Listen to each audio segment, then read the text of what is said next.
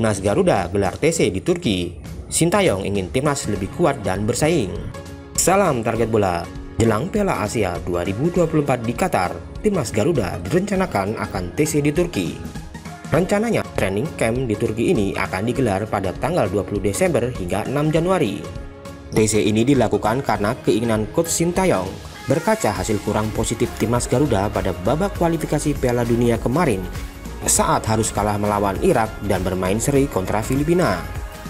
Dengan hasil ini, Sintayong masih ingin memperbaiki segalanya, terutama metal para pemain yang terlihat down dan hilang fokus, yang berefek melakukan kesalahan yang justru merugikan timnas Garuda.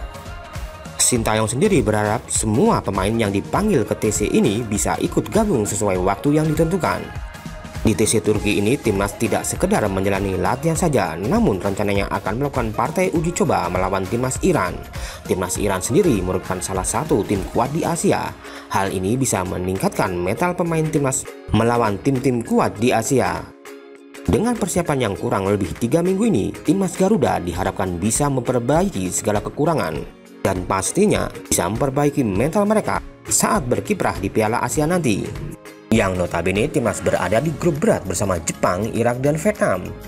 Harapan kita semua timnas tak hanya kuat dan mampu bersaing, namun lolos ke babak 16 besar untuk pertama kalinya.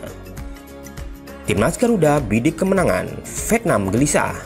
Dagelaran Piala Asia 2024 di Qatar, kita ketahui timnas Indonesia bergabung di grup D bersama unggulan pertama timnas Jepang, Irak, dan Vietnam.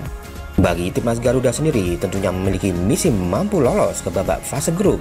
Menghadapi timnas Jepang mungkin akan sulit untuk meraih poin, terlebih mengincar tiga poin penuh. Namun laga yang kemungkinan timnas bisa memetik poin adalah pada saat melawan timnas Irak dan Vietnam, terutama melawan timnas Vietnam.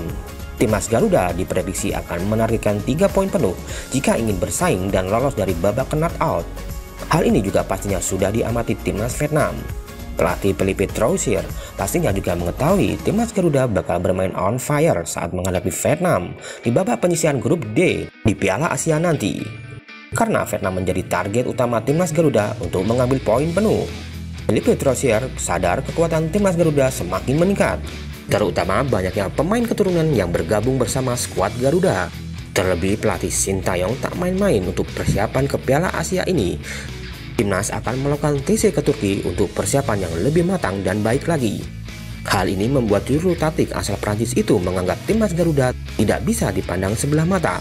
Yang mungkin membuat gelisah mereka adalah ketika timnas Vietnam bisa saja kehilangan poin ketika bertemu timnas Indonesia. Hal itu juga membuat timnas Vietnam bakal sulit lolos ke babak 16 besar, walau hanya sekedar menjadi peringkat ketiga terbaik.